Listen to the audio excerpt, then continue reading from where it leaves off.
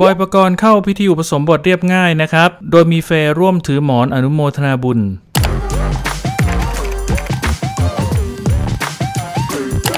ยอมรับว่าอยากแต่งงานสร้างครอบครัวแล้วนะครับสำหรับพระเอกหนุ่มบอยประกรณ์ฉัดบริรักษ์ซึ่งยินดีรอให้แฟนสาวเฟย์พรประวีนั้นพร้อมก่อนนะครับ ไม่ได้เร่งกดดันฝ่ายหญิงแต่อย่างใด ปล่อยให้ทุกอย่างเป็นไปตามธรรมชาติ ล่าสุดนะครับบอยประกรณ์ก็ได้เลิกดีเข้าพิธีอุปสมบทตามความตั้งใจเมื่อเช้าวันนี้นะครับวันที่ 20 มิถุนายน เพื่อทดแทนบุญคุณแก่บุปการีนะครับที่วัดปทุมวนาราม ราชวรวิหารนะครับซึ่งได้รับฉายาทางธรรมว่ากะตะปุญโยนะครับแปลว่าผู้มีบุญอันได้กระทำแล้ว